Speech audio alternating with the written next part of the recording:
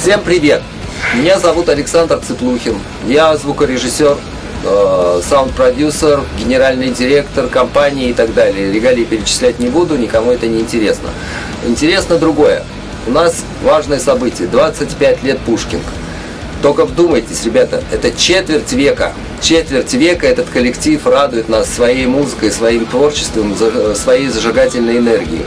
Все это благодаря, конечно, Кохе, э, его энергетике, его посылу. И я желаю ему, чтобы его энергетика била всех по голове и толкала вперед. Ура, ребята!